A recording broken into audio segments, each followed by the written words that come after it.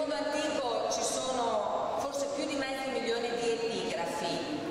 malgrado i numerosi progetti di corpora, dal corpus ai CLE e tante altre raccolte che tra la fine del XIX secolo e i primi decenni del XX secolo hanno fornito degli strumenti importantissimi per i ricercatori, bene, queste raccolte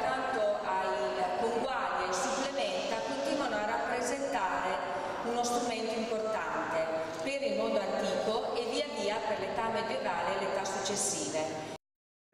I musei di Palazzo Farnese hanno vinto, grazie alla collaborazione con il Liceo Gioia e l'Archivio di Stato, un importante concorso di ami beni culturali. E, mh, grazie a, a, questa, a, questo concorso siamo riusciti a riallestire la sala delle epigrafi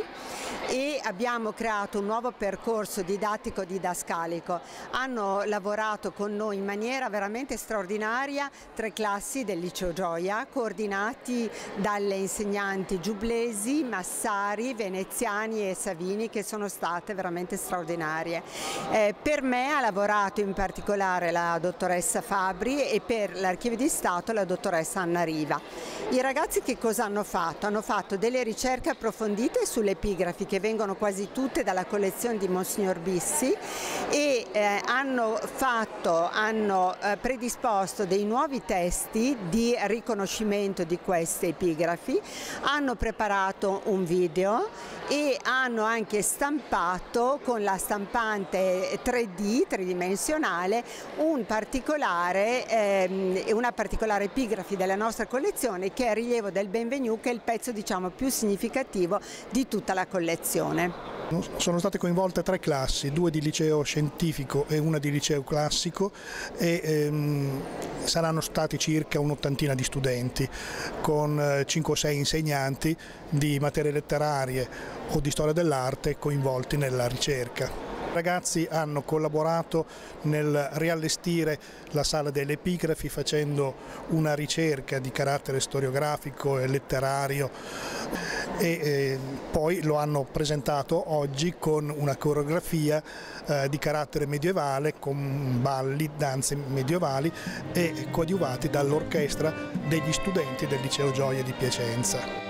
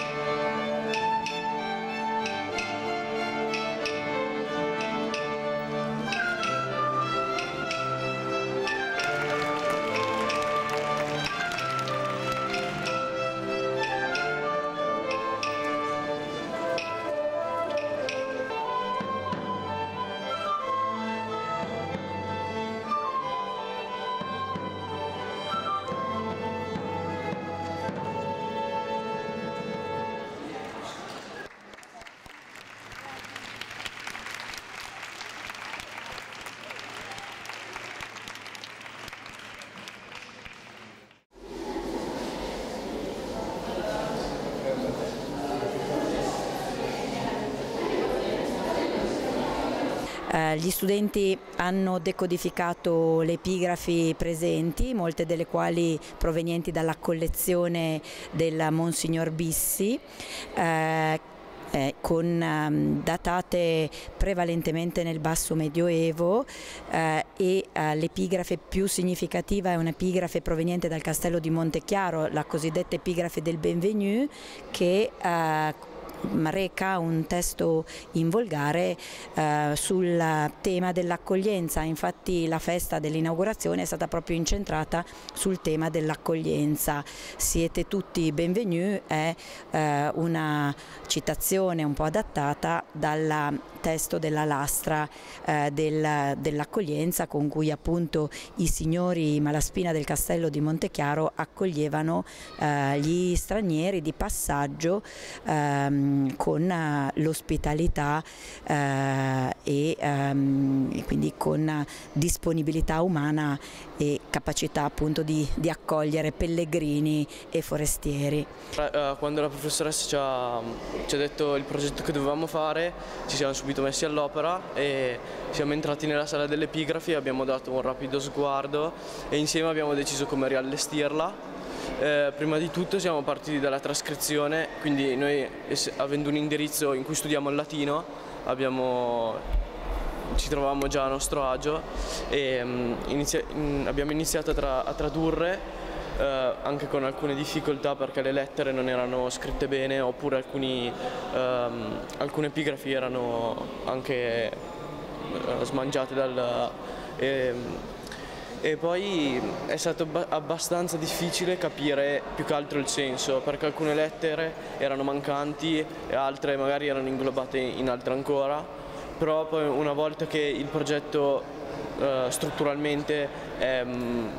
l'avevamo concluso bastava solo organizzarsi meglio. Il, il, lavoro eh, ha coinvolto gli studenti, anche le fasi di organizzazione dell'evento sono state impegnative ma coinvolgenti, è stata una prova di realtà per cui eh, lo studio è diventato eh, una realtà concreta, l'occasione per realizzare un evento e per realizzare un allestimento museale.